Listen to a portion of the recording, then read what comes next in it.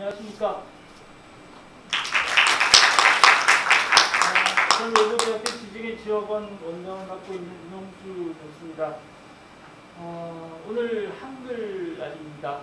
그래서 우리가 한글날을 기념해서 어, 우리의 한글과 그리고 또 우리의 아랍어 그리고 페르시아어 칼리그라프라는 주제를 갖고서 어, 거기에 교류라는 키워드를 넣어서 오늘 행사를 준비를 하게 됐습니다. 어, 아시다시피 저희 대학은 외국학을 공부하는 외국학 대학입니다.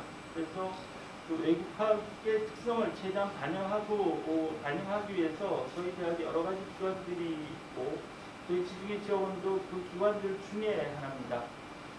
1997년에 연구소가 개소된 이후에 에, 지중해 지역을 배경으로 어, 교류라는 키워드를 갖고서 지금 연구 활동을 계속하고 있고 어, 2007년부터는 지중해 문명 교류학이라는 주제를 갖고서 어, 정부의 지원을 받아서 연구를 계속하고 있습니다.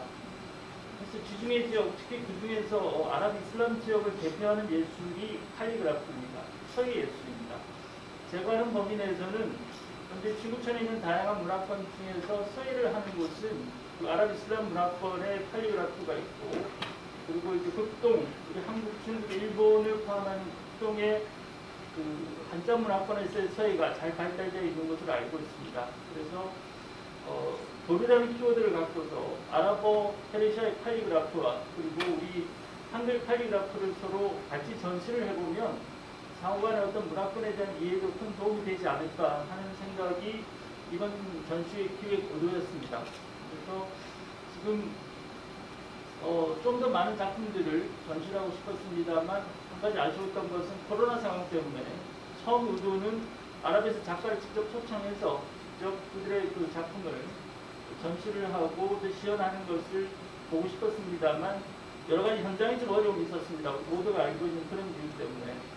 그래서 어, 오늘은 우선은 그, 그들이 보내준, 후원해준 어, 작품으로 좀 전시를 합니다만 다음 기회가 된다면 아마 현장에서 좀 더 생생한 그 아랍 칼리그라피를 그리고 또 우리 한글 서예를 즐길 수 있지 않을까 합니다.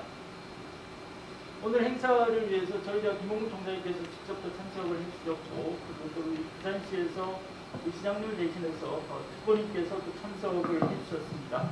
그리고 어, 우리 이란 대사관의 사이프 사마치 대사님이 조금 이따 아마 줌으로 인사를 드릴 것 같고 그리고 어, 우리 호사멜 빈 그 리비아 대리대사님 그리고 우리 학교의 그 아랍학과 박정주 교수님 그리고 박대한 교수님 그리고 무엇보다도 한글 선글 디자인 협회 그 차우석 대표님께서 공동 작업을 해주시는 바람에 전시회가 가능하게 됐습니다. 그래서 모두 모두 다 감사드리고 또 다시 연휴 기간에 이런 행사를 뵙게 돼서 시간을 좀 뺏는 게 아닌가 하는 그런 죄송한 마음도 있습니다만 또 한글과 그리고 우리 아랍어 그리고 페르시아의 아름다움을 마음껏 즐기는 시간이 되었으면 합니다. 감사합니다.